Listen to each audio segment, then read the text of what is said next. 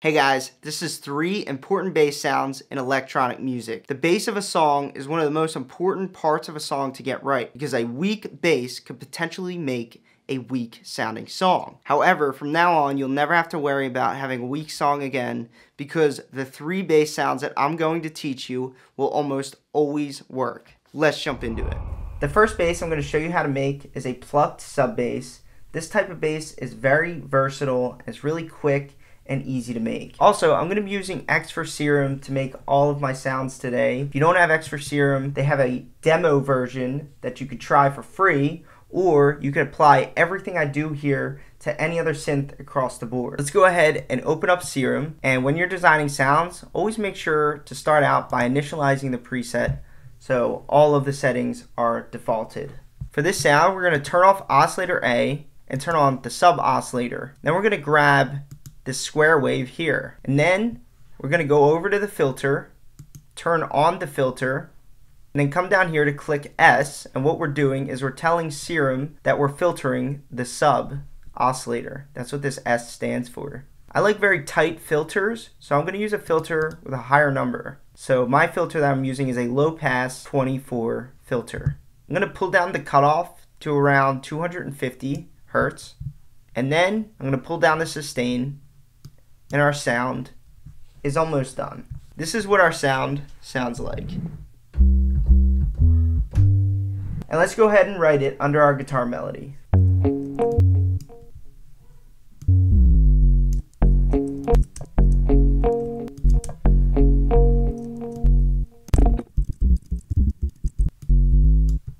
And so with everything, it should sound like this.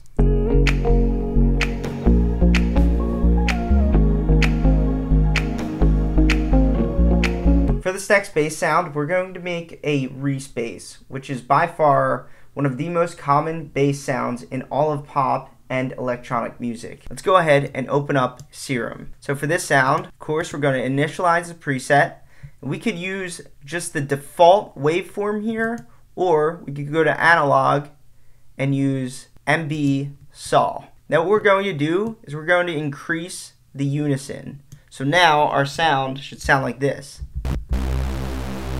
But here's where it gets really, really cool. We're going to deepen up the sound by turning on the filter and make sure A is selected here. Then we're going to take a strong low pass filter, decrease the cutoff down to about 225 roughly. Actually, let's go ahead and increase that to like 290. And we should get this sound. And these, this type of bass is like easily one of the most filling sounds. So if you're ever struggling to fill out your mix, add a bass and it'll fix all of your problems.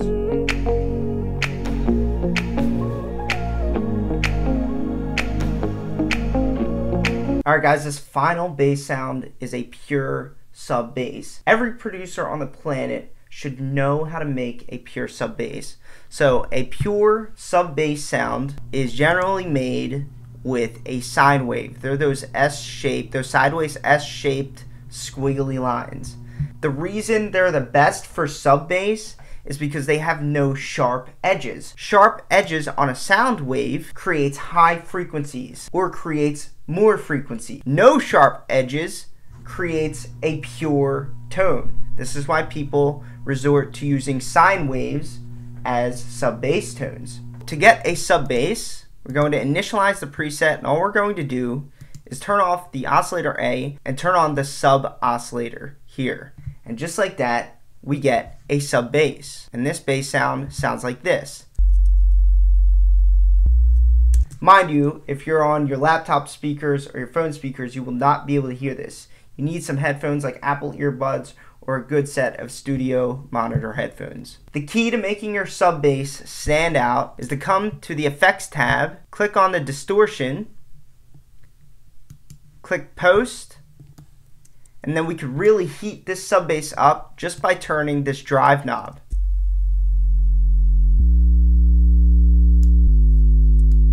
And now we have a strong sub bass. Let's go ahead and give this a listen.